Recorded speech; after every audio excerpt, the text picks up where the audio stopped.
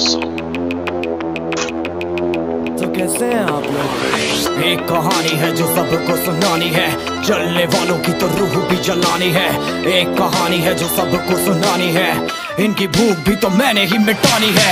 इनको क्या पता मैंने करी कितनी मेहनत? सारी बातों से था मैं पूरा सहमत।